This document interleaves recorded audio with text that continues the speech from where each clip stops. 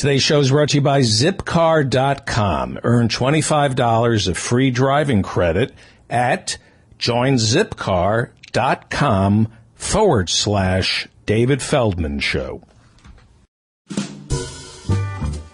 The David Feldman radio program is made possible by listeners like you.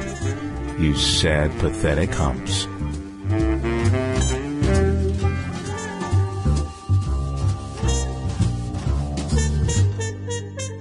Welcome to the broadcast. I'm David Feldman, davidfeldmanshow.com. Please follow me on Twitter and friend me on Facebook. Do all your Amazon shopping via the Amazon link that you see at the David Feldman Show uh, website. We're coming to you from Izzy's Diner on Wilshire Boulevard in. Why are you laughing? Be professional. You're the host. I feel like this is Larry King in Miami in 1963, and I'm about to talk to Jackie Gleason. And we're at the Park Sheridan Hotel, Uh-huh. and you're sliding scripts under the door.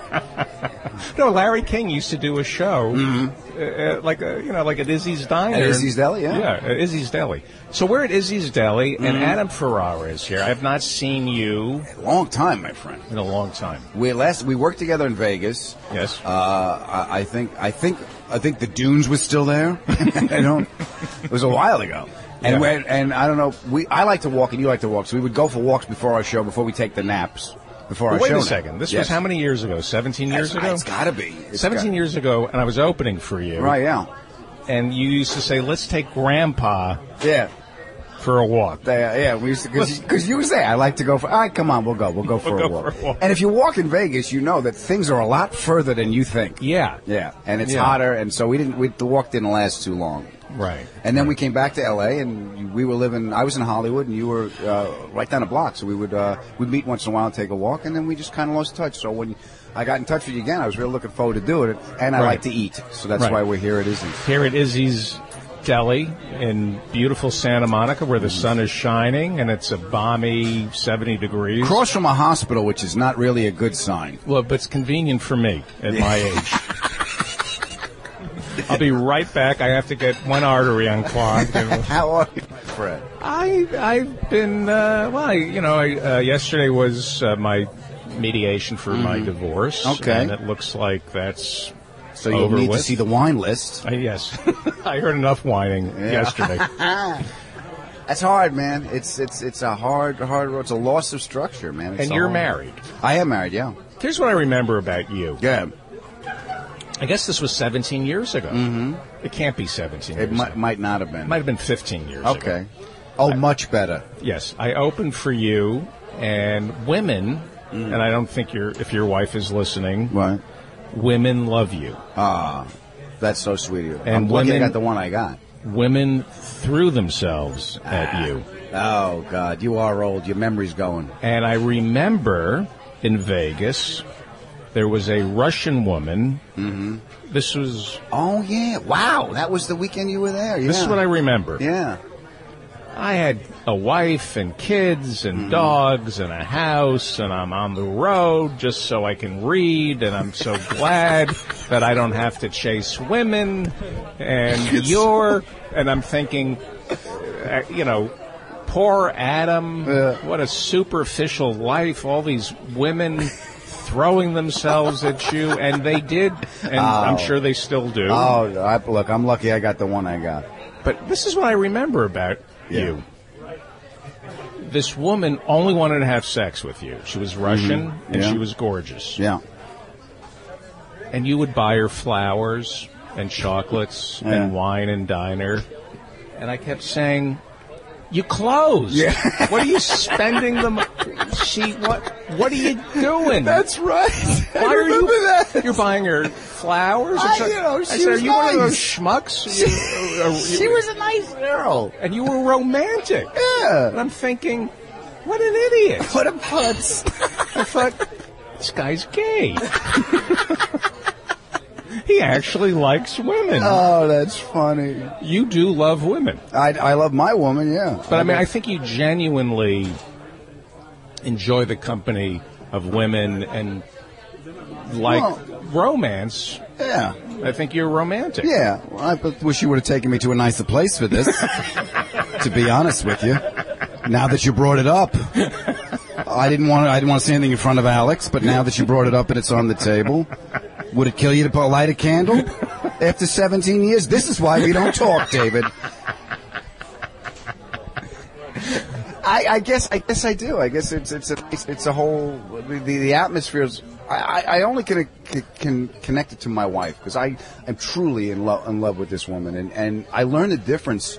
Um, when, when I met my wife between have to and want to, you know, like I want to do these things where I want to be able to, to, uh, I define myself. My father did it with my mother. You know, you t- take care of your wife. You know, you take, you make, how can, how can you live in service of the queen? You know, so I guess I have that. I got that from Wow. my dad. Yeah, he. I remember he. Uh, Go on with this because I have things to say about that. What? Well, I she make my wife makes me better. So I knew that you know I was I was a pack a day and a fifth Thank you, of sir. bourbon My before uh, burger, my veggie burger is being recorded. Thank you. Uh, I'll try to find something wrong with this and send it back. Yeah, Okay. Yeah, I'm sure there'll be something wrong. that's great. So uh, I'm going to do this. We- Please eat, baby, eat. I, I want to. I like you're going to send it back. It's a boiled potato. How did they screw it up? You heat up the water, you put the potato in. If it's floating, it's time for dinner. How are you sending back a boiled potato, you pain in the ass? Did you ever think it was Say you? Say it, Say what? Jew. you know, you're you're living proof that New York Italians Ah. are Jews. Oh, yeah. Yeah, it's no- food, family, and guilt. It's Yeah. the same shit. Food, fam, and rage. Yeah, and Ray. Oh, yeah. And- I remember once I asked my father. I said, "Pop, how come you're so angry?" It helps to hold down the rage. So I'm going to do this. Please eat. I, I want to do this because Robert Smigel did my podcast Right? uh, and ate throughout it, and it really pissed people off. So, Why? Oh, you hear the, chewing? chewing? Mhm. And Wasn't Triumph smoking during the whole thing? and Triumph was smoking. the cigar? And I did Jimmy Pardo's podcast this week. In the opening five minutes, I was munching on a bagel. and I just want to see How much you can piss off the audience? how much I can push people away. That's my, but so Mm-hmm. Did this cer- come up in mediation? You know, he eats constantly when we're trying to talk. All right, we're going to write that down. So what I was going to say is, if I had to do it over again, what you just said, and the listeners to this podcast Yeah. have heard me say this, I would have worshipped my wife. Really? Yeah. But Yeah. the thing I learned was women are to be worshipped. Now, unfortunately, we have a female president. We're Right. Uh-huh. about to have a female president, and that's going to be considered patronizing. And Well, is it patronizing or is it just? See, I don't think it's. I'm not being sexist. In, in the fact is, is, is I genuinely love my wife and, and grateful that, that I've seen how my life has got so much better that she's in it, and I want to look. I define myself as uh, try to be a good husband and everything. My job is to provide and protect. It's not meant to marginalize ladies in any way. All right, I think you. I think the women are underpaid. I think any decisions regarding their bodies should be made by by them. I, absolutely, that's what I think about women. But this isn't about That's right, them. that's right. I- it's about me. So shut up, ladies. Right. Let me talk. No, I agree that women's bodies are their bodies, and, and Yeah. only women should make decisions about their bodies. so whenever I sent my wife to a plastic surgeon, it was always a female who performed the. You know what? You're a tuck. sensitive man. Uh huh. Go see Claire. Something sagging. Is that was was that the?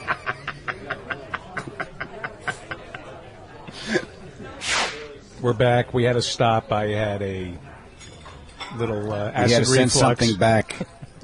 Yeah. The the food is so good here that Isn't I it? have to look to other people's tables to send something. Mm-hmm. Everything's all Unfortunately, right. yes. Your burger good? It was delicious. The only you. I'm sending back an empty plate. I was. I, I've never sent stuff back. No, me neither. No. No. You come back. Oh, look at the heart shape in the potatoes. Those are ball prints. Don't eat them. Speaking of being on the stage, Yes. let's review. You know, you're not just a stand-up comic. That's how I know you. Mm-hmm. But you're an accomplished actor. Yeah. I've been very fortunate to, uh, Nurse, to get tell through me about stuff. Nurse Jackie. Nurse Jackie was fun. I did uh, two years on that show. I played uh, um Jackie's uh, boyfriend. We uh, fell in love, moved in, broke up, uh, and it was a great deal of fun. It was a lot of fun. uh, to do. And she's extraordinary. Edie Falco is just extraordinary. I remember. Um, and she's from Long Island, which is where I'm from. She's from the town next to us, so we kind of, we kind of, it was kind of a, a connection there to begin with. Right. Um, so I, I get the gig, and uh, I remember the first scene we do. I'm in the car. Uh, I'm, I play a police officer. So I ask her out on a first date, and you know, and she says yes, and she's so good about creating, you know, about being present. And I said, so you know, want to go out? And she goes, yes. And I, in my little head, I went, I'm doing great with this girl. Does that does that happen? Because I'm not an actor. What? Does that happen where you, if you're getting so deep into it, the method? Oh, you're connected. You, you have to be, you have to play the truth of the scene. So you know, you know, it, it it's it's like I'm not the king of comedy with you know, in the basement, ma. You know, it's not Right. that. But uh, but yeah, there's a certain amount of truth, and you, you have to find the truth of the scene, and, and all, all the shit you read in the books. Can it know. be adultery? Is Can it- can what be Can, can you be lusting in your heart as an actor, even though you're married? right someone? now with you? No, I got nothing. But what I mean, do, do you have to do a sense memory where you have to? Uh, well, it, it depends on what you need to get there. I'll be honest with you. I just, I, when I, when I got to get anywhere I need to get deeply, uh, there's two things that happen. I think of my wife for emotional connection, or I think of my wife telling me what I'm doing wrong. So that's, there's that voice in your head. Um, oh, thank you. More coffee. And do you do a line by line analysis, or do you just get it? What's the off purpose page? of scene? You break down the scene, like you figure out what the actor, what the writer intention of the scene, what the purpose of the scene is for the story, what your part of the whole is to play that, um, and then you just get the you get the get the truth. It's being truthful in imaginary circumstances. Get the truth of that moment, play it, and our scenes were very quick. That's when. Um, we did like we wouldn't really rehearse much. Maybe we'd run lines quickly in a makeup trailer, but then two takes, and they were all happy with it. So that's usually the best stuff. Uh, I find is, is when it when it comes quickly. So you did love scenes with Edie Falco. I did, I did, and, and that, okay. So I'm on Top Gear. I flip over. I, I, I flipped over in a car and I separated my shoulder, so I couldn't work out. So I was all freaked out because I know I had to be on set with Edie. So I, I get the script. Frank and Edie make love. Great, of course. I got a love scene, right? So I can't work out and I'm freaking out. So my wife said, "Stop eating the meat," because I was just down to. Uh, I wasn't eating red meat anymore. Um, so I, my wife's a vegetarian. And when you know when you fall in love with someone, she was like, uh, "Listen, this isn't a fad. This is my lifestyle. You're going to be okay with this." And I'm like, "Do I get you? Yeah, I'll eat the fucking twigs. Fine."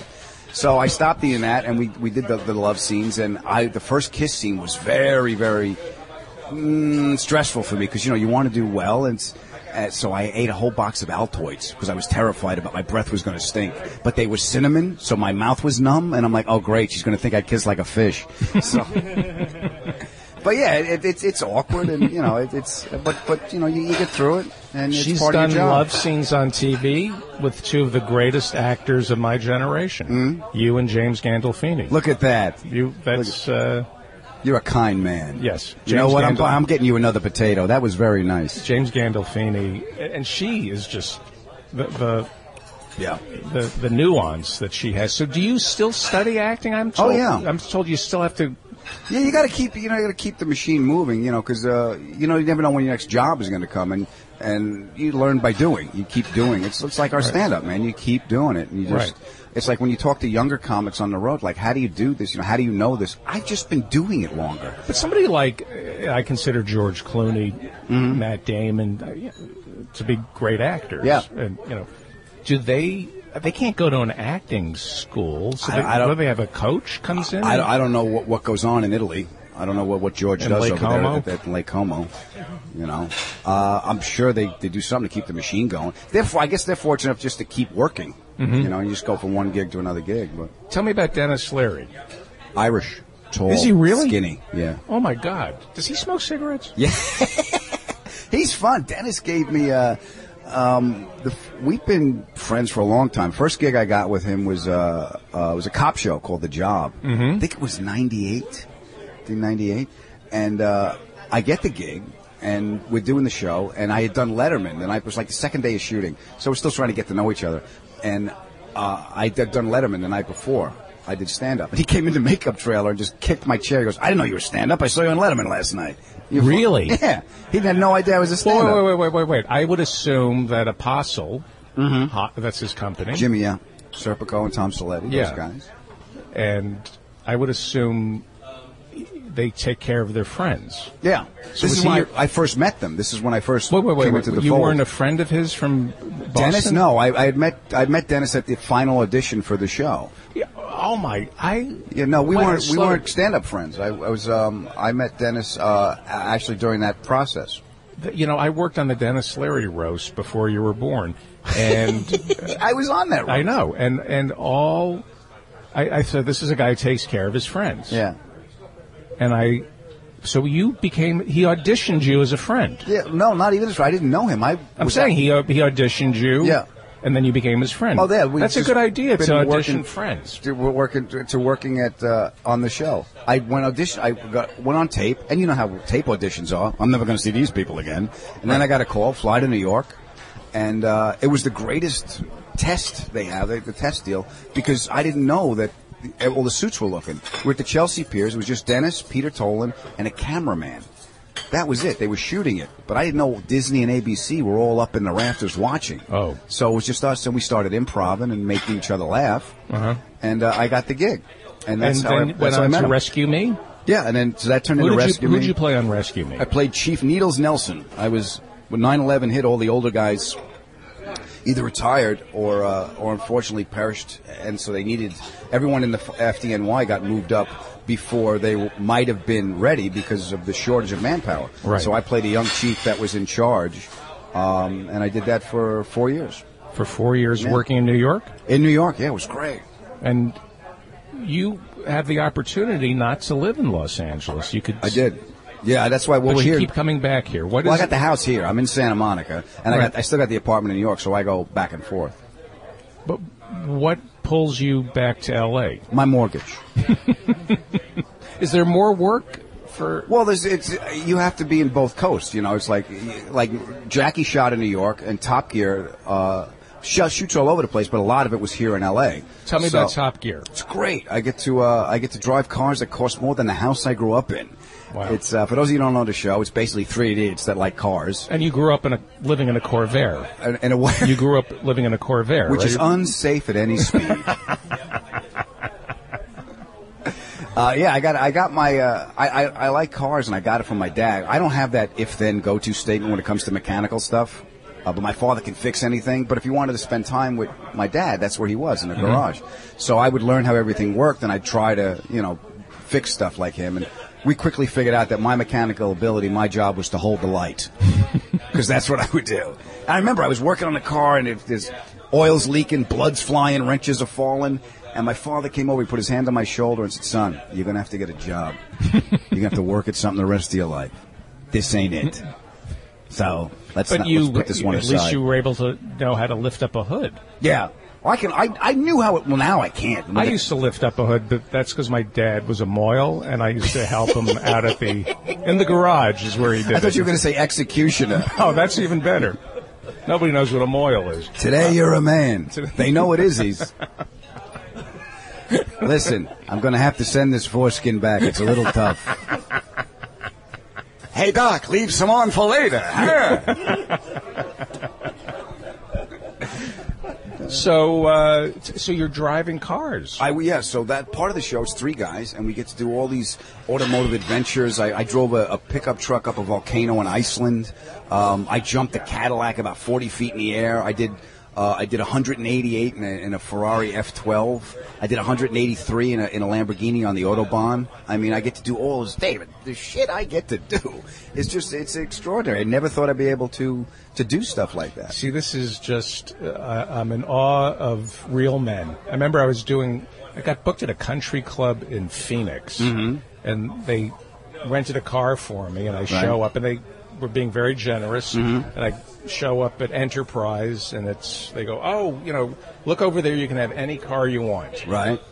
And, and there was a brand new Mustang. Mm-hmm. Uh, I don't even know what the other car was. It looked like a Corvette, but it wasn't. Right. And I see a Nova. Right? And I go, I'll take the Nova. A Nova. Or is a it Taurus. 1973? No, What like a Taurus or something. Okay. And they go, but you could have a Mustang. Yeah, I go, yeah. I know how to drive a Taurus. You know what my the car, has the body of a Jaguar. that's you know what my daily driver is? The car I drive every day is a 1970 Buick Electra 225. It's huge. It's 18 feet 5 inches. I have three garages at my house. It doesn't fit in any of them.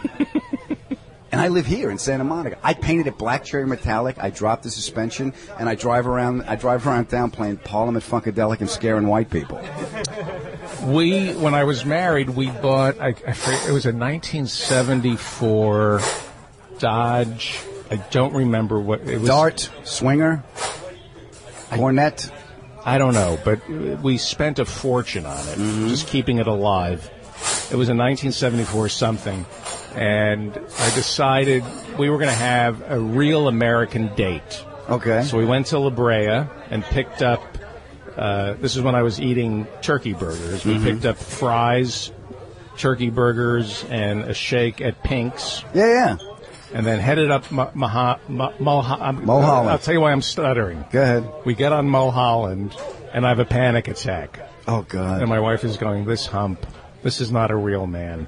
I'm, dr- I'm driving this car on Mulholland with the curvy roads. Yeah, and I'm yeah. going, "We're going to crash. We're going to. crash. I can't do this. I can't do this."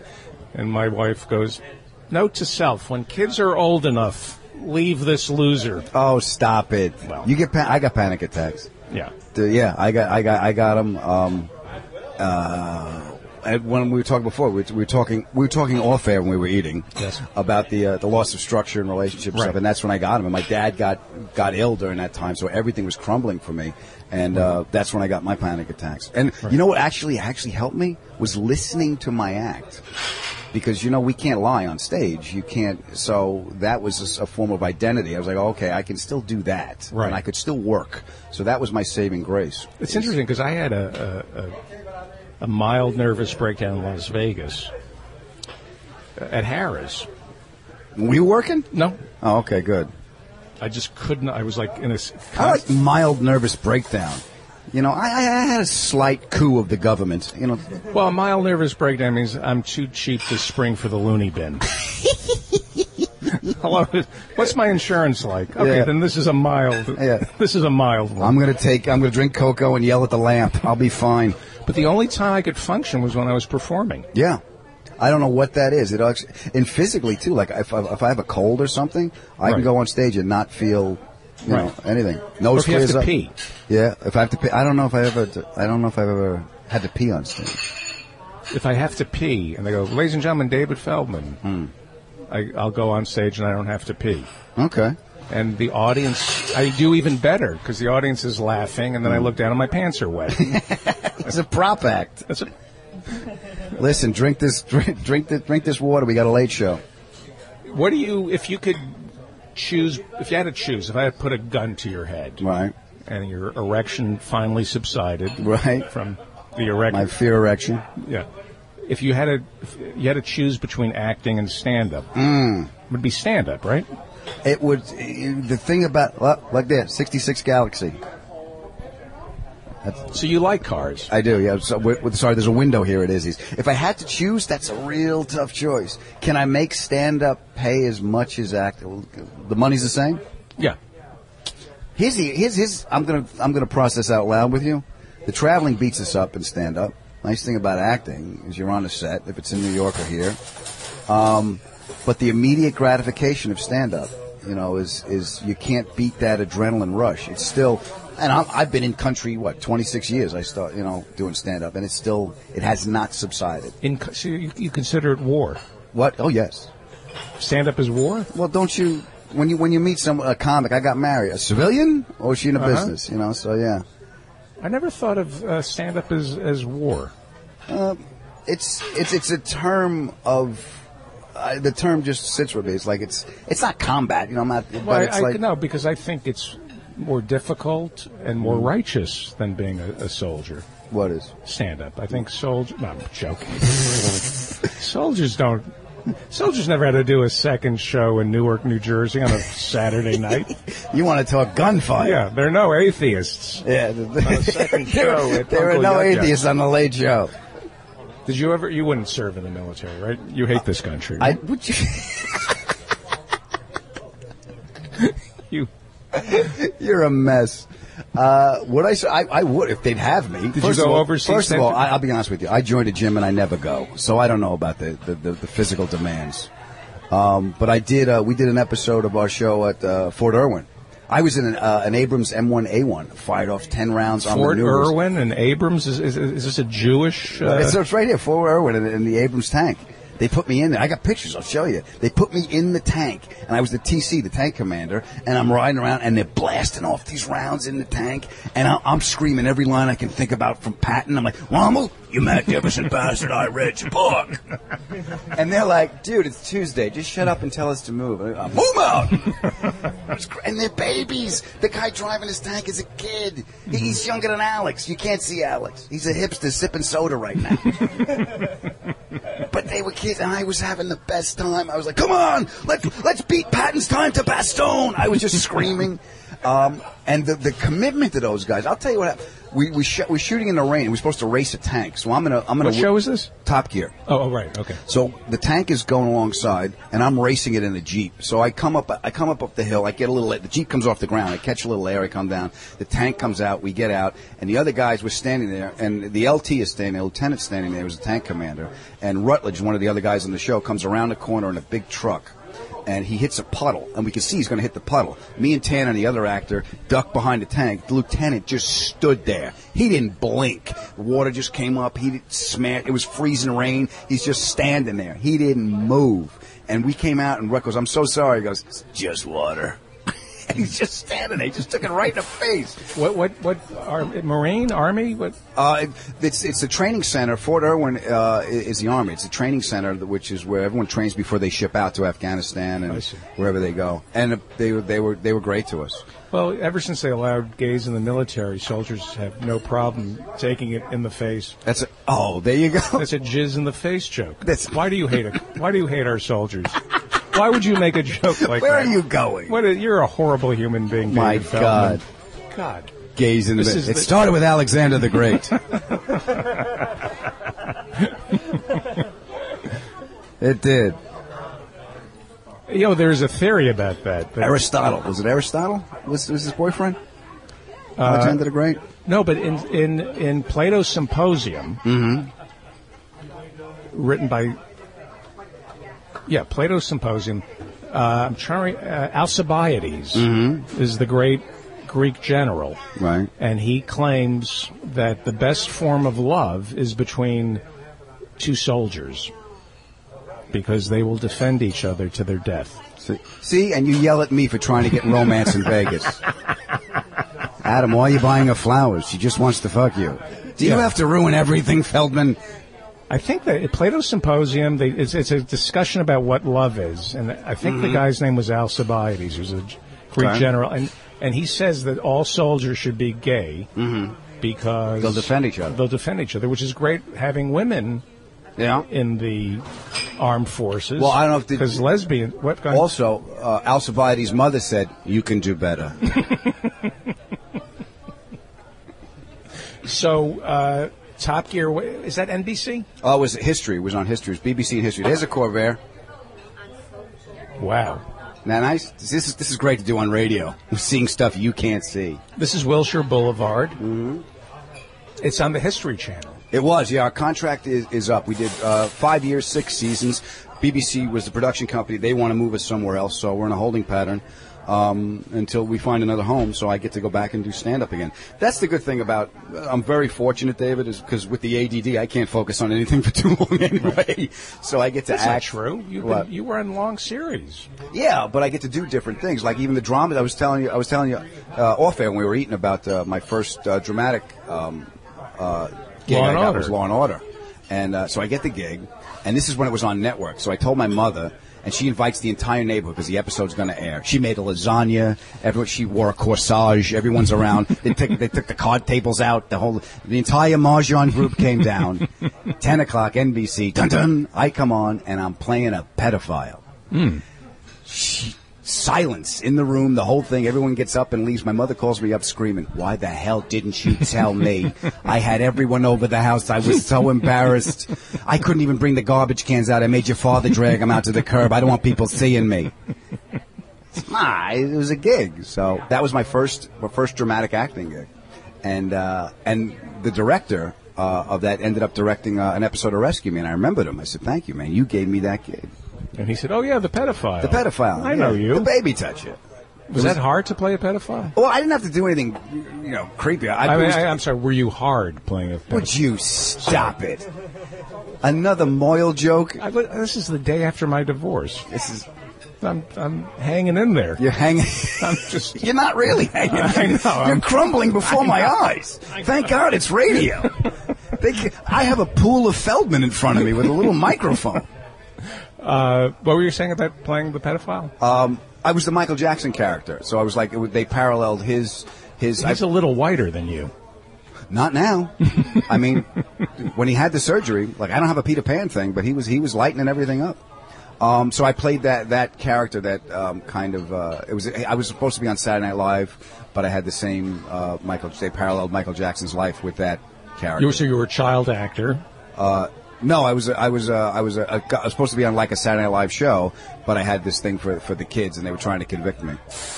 That sounds kind of interesting. You know, I was Yeah. watching some old Michael Jackson from '84, mm-hmm. and I when he was black. Yeah, I felt guilty. Why? I, I got the chills. He was so great. Oh yeah. I got. I went. Oh my god! I, like I, I'm so, like I can't like him because of you know Yes. he's black and you know just it was the way I was raised. Wait till a white guy steals his music and then you can enjoy it. Right. But don't enjoy yeah, a That's man. Right. Little Richard, no. Pat Boone. oh, bring the kids. And what? How ironic that his last name would be a pejorative for black people. Boone. That's wasn't that it used to be a. No, I, th- I, I, I think at one time that was. I, I don't know. Tell tell us more, Grand Wizard. Is it wrong to like Michael Jackson? I, don't. It's it's the same. It's, it falls into the Woody Allen category. you No. know? Well, no. Well, well, not not like that, but it's still that same. It's that you think same. Woody Allen is guilty?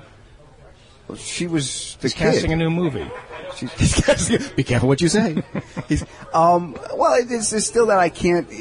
When people, I guess, what expect more from people that you want when you like people, you take it personally. Right. You know, because they're an artist. You know, you take it personally that that because you feel emotionally connected to their art. Right. That their behavior uh, you, needs to rise to your moral standards.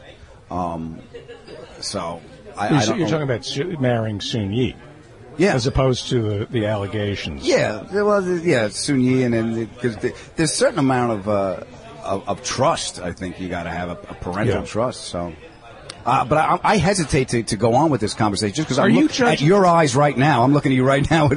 Going, I don't bring up the family. Don't bring up No, any. I'm curious. Are you judgmental? I've been accused of being judgmental. Do you, do you think that uh, stand-up comics in particular have very clear divisions of black and white, right and wrong? Race or right? and wrong? I think we have our opinions are our act. It's, Right. it's So there are no moral gray areas with us, right? Well, I'm sure. Uh, th- look, I try not to. You try not to judge. All the spiritual teachings say don't judge because Right. it, it- judgment you will have an emotional reaction to the judgment. It's not. You can't just see things objectively. Yeah. My rabbi used to say anybody who judges somebody is an asshole. Right. See, Okay. the joke is he was judging I people who are Yes. judgmental. Yeah, I, I try not to judge other people, and that's what makes me better than those fucks.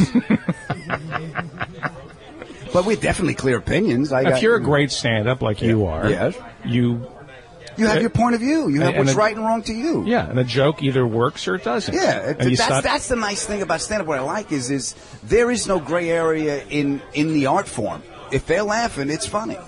You know, if they And if you get to a point, sometimes you get to a point when if they're not laughing, they're wrong. Right? I have notebooks of that. I have notebooks of, of thefts that I that on paper should work. How many times will you tell a joke or do a bit Hmm. until you go, Yeah, yeah. Oh, I get do you that. let go? I try to let go, uh, but then I'll try and bring it back, and I'll say, and or I'll try. I know that that that joke is saying something to me. I just haven't figured it out. I'm not here.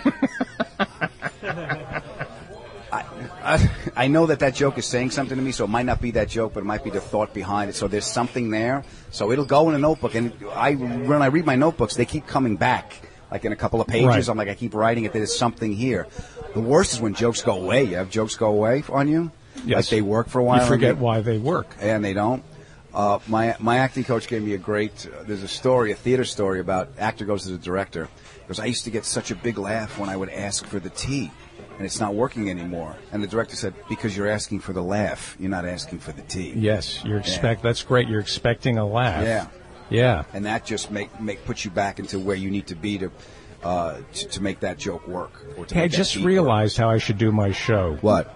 Well, I describe that guy. But that guy? Yeah.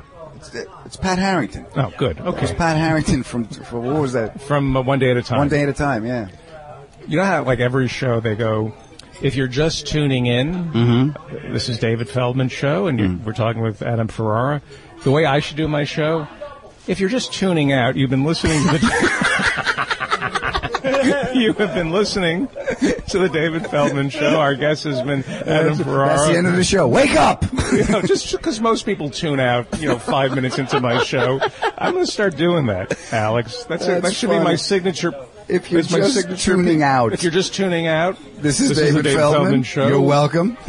Where, um, yes. do you still tape your sets? oh yeah, And do you listen? I do. I, I listen when I have something new. Uh, it's a lot easier now with the iPhone app. I mean, it used to be the mini recorders. And Mm-hmm. Yeah. I used to like the mini disc because you could put a track mark in and just push a button and go right back to that set. I had cassettes. you do? Alfa Romeo. Wow. Um, Caesar's son. What? Caesar's son. Caesar's son? Alpha? Yes. Alfa Romeo was a great actor. Caesar's son. He walk. He, he, we found the Joker makeup for Halloween every year. His father would fucking yell at him. I, I, I've been reading some books, and uh, Cesar Romero's son uh, wasn't really his son. But go ahead. He wasn't. Well, I don't want to get into that. That's neither here nor there. Does he listen? Does he tune out when you? Cesar Romero? He's not alive, is he? He No, passed away. but No. yeah, we won't. I think it's safe if you want to go into it. no, but okay. it's, it's private. What was the question, Dave? I tuned out. Is this the David Feldman podcast? Do you listen to when you I get so much rest when this show's on. so when you get an acting part? yeah. Do you call a coach?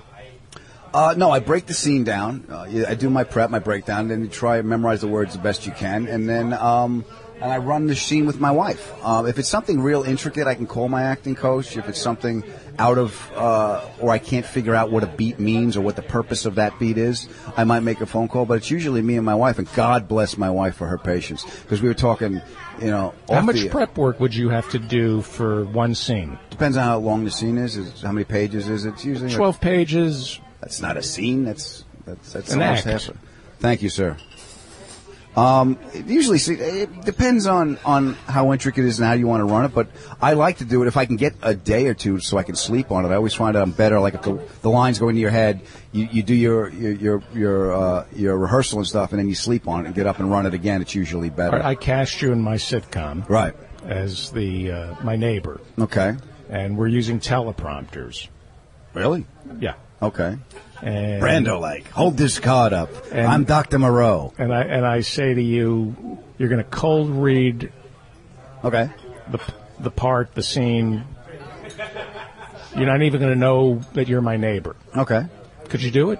Could I do it? Yeah. Give me the, you give me the scene. I'll, I'll I'll look at it. I'll No, figure no, something. just out. cold reading it off the teleprompter in front of an audience. Um. Yes, you could. I could do it. I wouldn't. I don't know how good it would be, but I could do it. How are you? That, what, did you see that woman just like look at me? See that? Things are turning around for you, Feldman. Was Look that- at that. That was a. She was looking at the boiled potato. I didn't want to say anything because it, it meant a lot to him that moment. Was that my imagination? It was a hungry homeless woman, and his ego just put that through the filter. Like, did she just flash me? Is that? I, you get women to look at you. women look at you. Women don't notice me. They was. She was looking at you, not me. She was looking at me, but then again, I'm holding a microphone and a gun to my head. It's true. And uh, But yeah, so my my wife, uh, the and and uh, we're talking off the air to get through my defenses, to get to emotionally where I need to be in the scene. Every character I start with is like a crime boss because that's that's the uh, the, the, the the defense mechanism I have. so you grew up in New York, Yeah. Long Island. Mm-hmm. You joke, Long Island is an in, is a is a Native American term. It means near the mall. isn't Long Island anything but Manhattan and Staten Island? Yeah, it- it's, suburb. Brooklyn. It's suburbia. Yeah, yeah, I mean, Long Island, it's a big island. And it's like, and your family, like my, my father's family, they all fought to get out of the city, and we all fought to get back in. Right. Because the cool shit was going on there. So when you you joke about Goodfellas, you know, Mm-hmm. being being from a neighborhood like Goodfellas, Yeah. is that really true? I, I grew up in a in a in pretty much a Scorsese movie. It was it's pretty much that's my neighborhood. That, that those sensibilities. But were they, were they mobsters? Not as far as you know. fuck you doing, Feldman? Eat your goddamn potato. Every every Italian thinks they go like my, my cousin. Like, you, you want me to make a call? Who the fuck are you going to call? I'm the most powerful friend you have. Who are you calling? You work for the water company. My uncle Tony was like that. He would stay over the house and he'd be in a bathrobe in the morning. He'd be like, Adam, come here. Come here. What? Just get over here. You want eggs? what? I'm making eggs. You want eggs? Yeah, yeah, yeah. I want some. Shh. the fuck are you whispering? I'm not making eggs for the whole fucking neighborhood. Uncle Tony, if they know you're making eggs, they're not going to kick down the door with a knife and fork. And what are fucking eggs, Tony? What do you think is going to happen here? But everything is like that, David. Everything is, you know. My, my, my, my, my other uncle would come over to the house. Yeah, put some down in the basement. Don't go down there for about a week. You know, you know what the fuck? Everything was like, and that's what that's where I have it. That communic. There's no communication. There's no black and white. Everything is yeah. We'll see. Maybe a couple. Th- everything is a couple tree. No one really knows. Let me see what I can do. How much is that? Maybe sharpen your pencil. That goes down a little bit. Everything is like that. Even when I- went to see a shrink for the panic attacks the first time, I come out and my buddy's like, "How'd it go with the shrink?" I'm like, "He didn't get nothing out of me." I love my mother. I ain't gonna roll on her. Fucking animal. Yeah, that's the defense mechanism you get through, and the codependency. The family is everything. The family's fucking nuts. Well, hang on for it. Did, uh, are they acting? Because I'm fascinated by the What? the Cosa Nostra. Okay. People are acting like they're connected. Yeah. Look, really. there's a certain amount of what do you need. There's a look, my, my fa- middle management. We're not killing anybody, but if something falls off a truck, we're not going to put it back. Let me put it this way: most of my family does not have to pay for parking, and our garbage is always picked up, whether there's a strike or not. Is it still around, or did Giuliani? Did they do a good job getting rid I of don't. it? I, don't I, I left. I left a long time ago. I, I don't. I don't know. I'm sure. I know there's uh, a lot of Jamaicans, Russians, a lot of different. But the Italian mafia is that kind of done? I, I not don't. in Italy, but I always. Yeah, I, I don't know. I like I've been out of New York. I don't know what's what's what anymore, and I really didn't want to. Uh, didn't want to get too close to find out. To be honest with you, Yeah.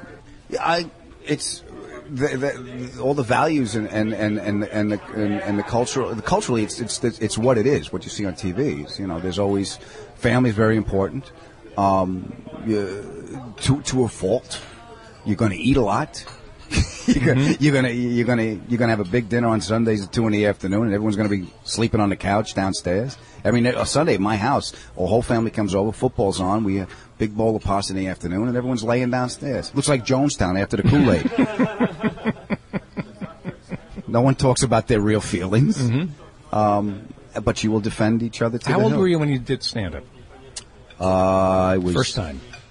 I'll say 1920. Where? July Eastside Comedy Club, Huntington, Long Island. Eastside Comedy Club. July How'd you end up in 13th. Boston. July 13th, 1988. It's an old Volvo. No, I get I get Boston because of my my friendship with Denis and Lenny Clark. Everyone thinks I'm from Boston, but I'm not. I'm from New York. But I started in New York. I started on Long Island. I didn't even go into the city because I started on Long Island because I knew that the city you, you get one chance to make that impression. Right. And Cary Hoffman, who was running uh, at the time, was running Stand Up New York, gave me the late night spot. And I remember that the, all the, the headliners at that time was like Jon Stewart uh, and all those guys would do from eight to ten forty five. From ten forty five, I'd go on and I'd host the late night. And uh, I had a car, and that's why I got so much stage time. I had a car, Right. and you know, and I was responsible, and I showed up on time, and I would drop people off at their house because I knew that these headliners needed from the city, they needed rides. And I would come back and meet me at the improv. So I'd meet you at the improv, and then I would tell the comics, like, where do you live? Well, I'd take you to your house. We got to take a cab for. So they knew if they hired me, I would drop them off, and, and I got a car, and I just kept my mouth shut. And that's the one thing I got so much great advice from my father. Just keep your mouth shut and your eyes open. He goes, you're going to learn by listening and seeing. When you listen, you learn. When you talk, you teach. And you got nothing to say. Wow. Yeah. Wow. Yeah. He's a smart man. My father was like a crime boss. My father had the he wasn't you know he he had the, the gravitas. He had that that that gravitational pull. When uh, he did kitchens and bathrooms, he was in a construction business. An Italian in construction, living in New York. Go on, I can see it in your eyes. But I remember vividly sitting in his office as a kid. I was playing with a pipe wrench, and I would sit in the corner, and everyone in the neighborhood would come by and give my father coffee, and he would light up a lucky, have his coffee, and go, "What's the matter?" And they would just pour their hearts out to him and tell him his problems, and he would say, "Ah, "Here's what you need to do. First of all, take it easy. Take it easy. Life's going to beat the shit out of you, Feldman. Don't help it." Wow. you know so he would give people advice and he was very comforting and he would give people directions and i i don't remember consciously you know taking any of that in but now as i get older and since he's gone and remembering him i'm like fuck and all the people that showed up at his funeral would always say your father helped me so much and my father cops firemen whoever could make parole at the time criminals i mean everyone showed up they were all there. They were all came out. Lenny clark came in flaming red pants. He, he looked like he walked off a golf course in 1968 and loud. And I heard because I heard him muttering because there was all these people, all these old Gindaloons. First of all, any Italian funeral, you get that there's there's there's old women in black dresses crying. Nobody knows who they are or where they're from.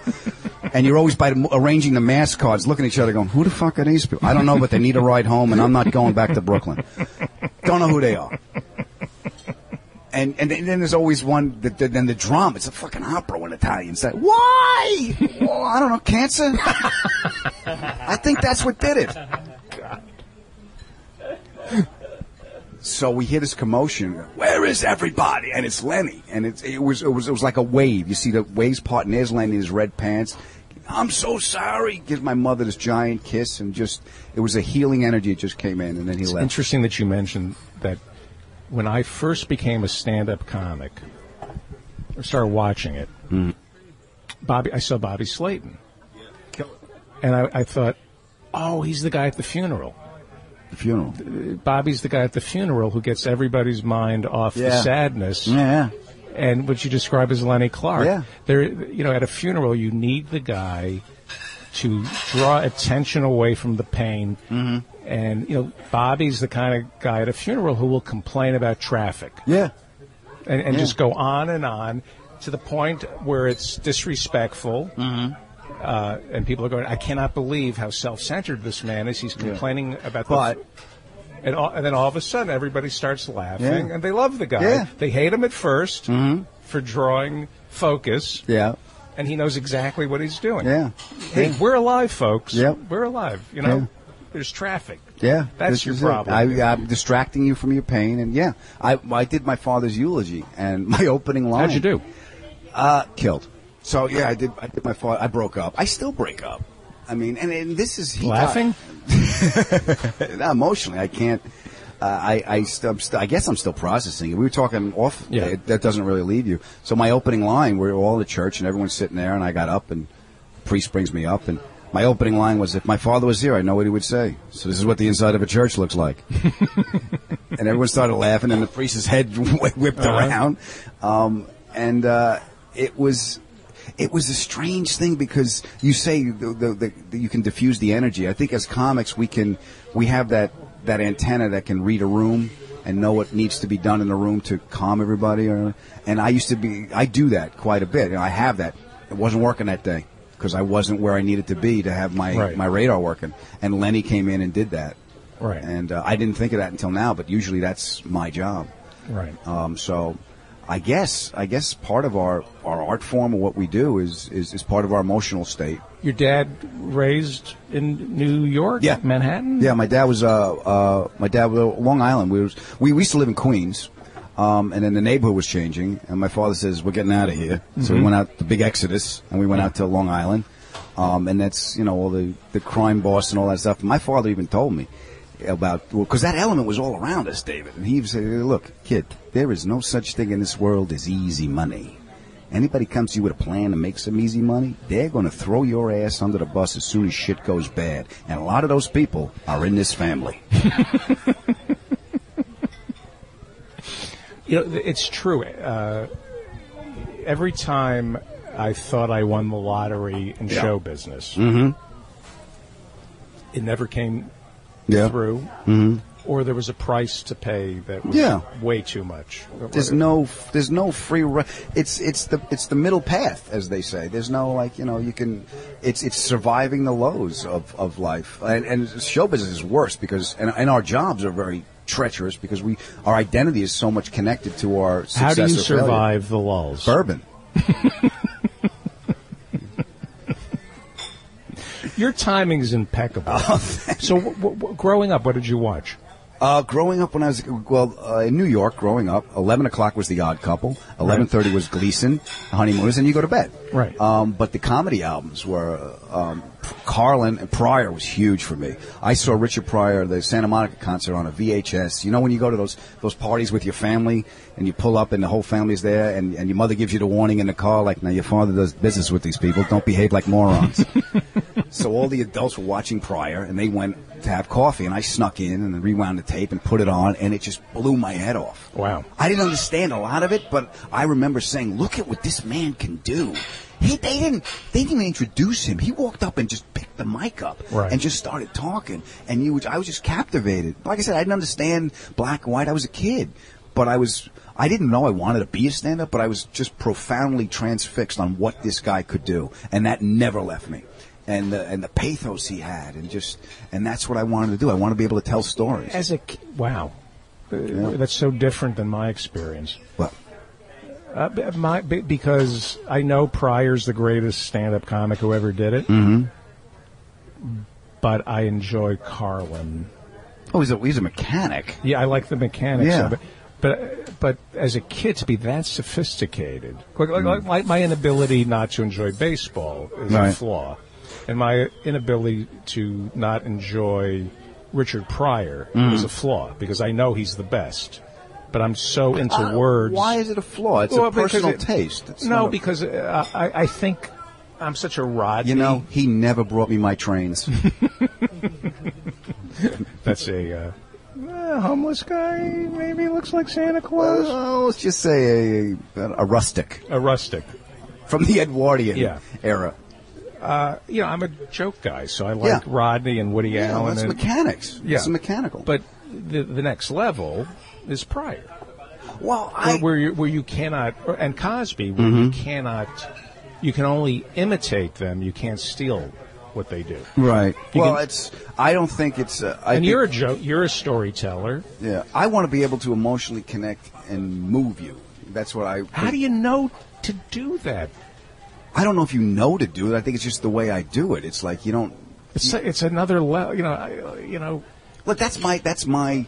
That's what I was given in my toolbox. You have a different toolbox, so you're how not gonna. you're the Italian and I'm the bricklayer? That's it. I'm the one. Here's a don't- I don't joke. Here's look a at it- joke. I don't a look joke. at it as bricklayer. I, I, uh, I have, I have so much respect for guys like you and the guys that write for people, and because I tried to do that. Remember when you, we, they said you can get fifty bucks for faxing jokes for Leno or Letterman? I can't sit with a paper and write ten jokes. It's I got- can't work a fax machine, I can't. so that's why I didn't do it. So, but you can't. I can't do that. I can't. I need the. I need the feedback from the audience. I need to. You know, to me, it's a. I always say it's a cultural thing. Sometimes, like they- for like Jews, Yeah. keep the car running. right. We're not going to be here for a long time. Keep the car running. That's not cultural. Italians will keep it running, point it towards the freeway. If you hear a gunshot, take off without me. Keep the car running. Close the garage door and make it look like a suicide. yeah, that's it. Hiram. But my my when I started, I always thought they hate me. The audience Okay. is going to hate me. They're never going to love me. Get to another joke. Get to another joke. Just get, make them make them make them laugh. Make them laugh. Make them laugh. I think culturally, I, I, I would. You don't feel. You don't come in worried that they're not. I don't know. Maybe you Well, do. I don't think I don't think that that's cultural. I, I think I think you need to spend some time in the self esteem room. Yes. I think The self-esteem room, The self esteem room. Yes. Um, I don't know if that that you're you're coming in with uh, whatever. Again, that's your bag of shit, man. I got my bag of shit too. I got believe me. I lay down to go to bed at night. That's unleash the galloping fear. I mean, there's all that shit that goes Right. through my head. Um, but it, it's it's how you approach it. It's uh, Raymond Chandler said talent uh, talent indicates what you can do. Motivation indicates what you will do. Attitude is how well you do it. So if you're going to come in, then he got drunk and died in La Jolla. um, but it's it's the approach. It's it's it's how how you're going to come at it.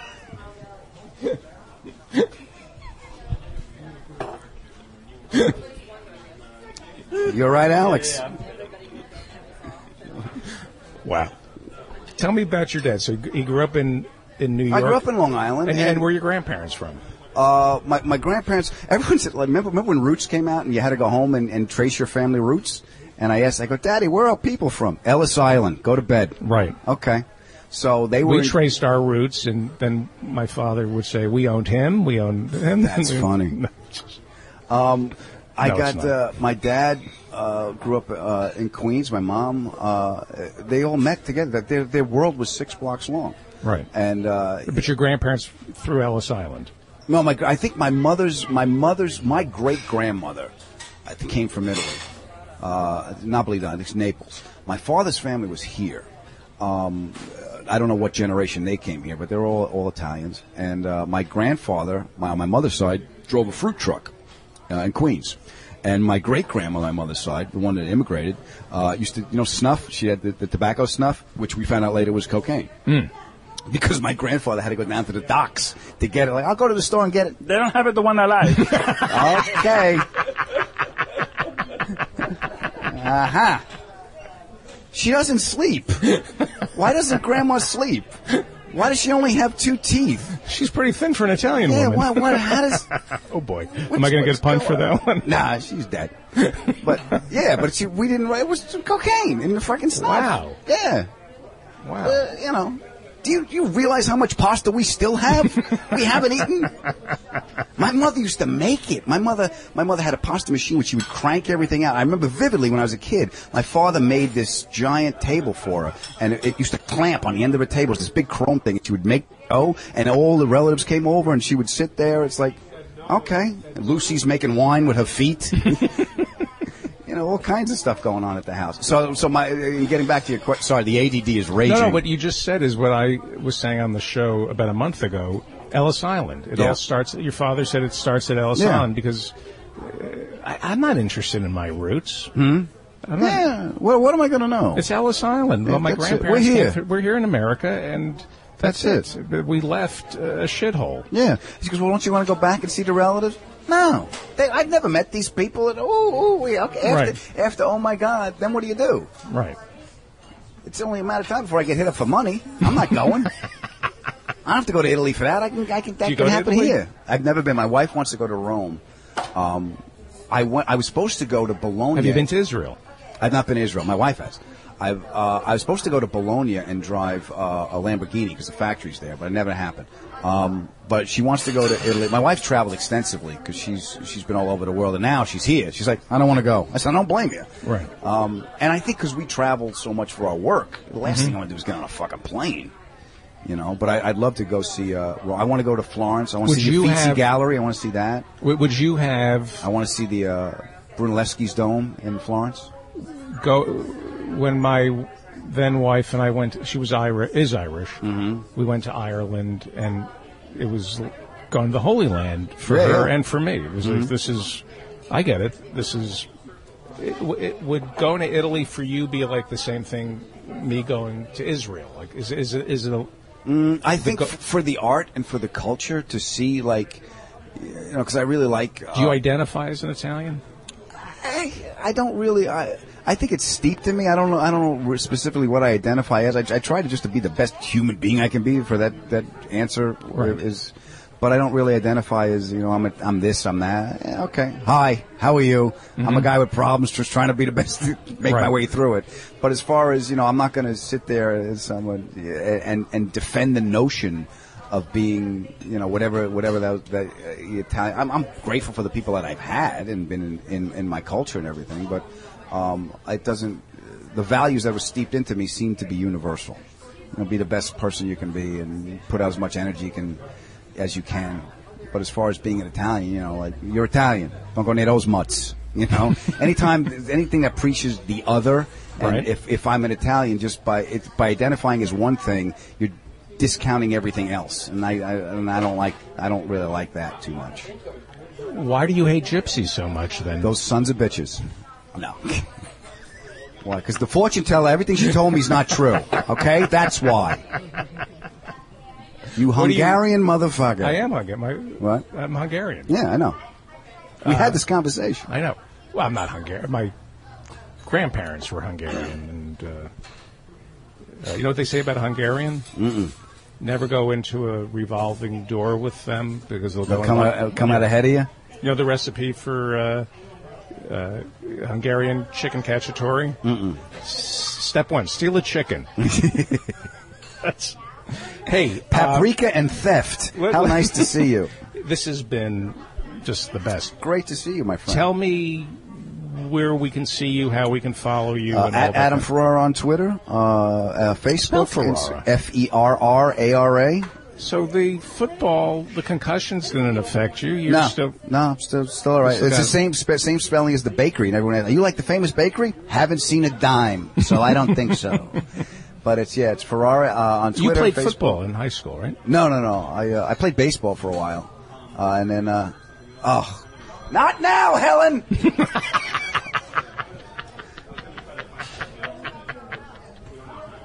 I think that woman's name is Helen. Her head just snapped around. I scared the shit out of her in the middle of a salad. I'm sorry, lady. Look at the look of disdain I'm getting from her. Um, no, I never played football. I played baseball as a kid.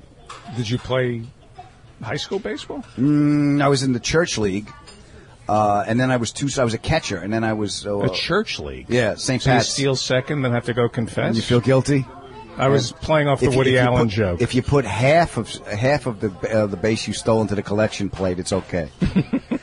um, yeah, I played baseball. And There's a church league. yeah, it was a church league. St. So- Pat, St. Elizabeth. What, what was your team? The Cardinals.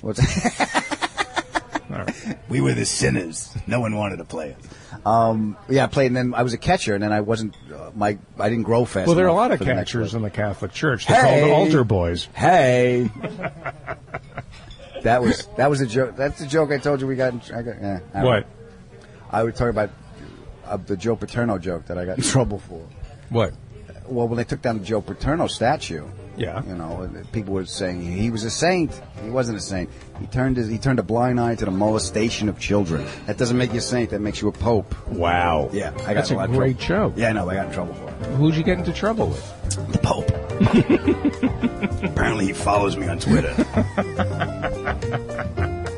Adam Ferrara, thank you so much.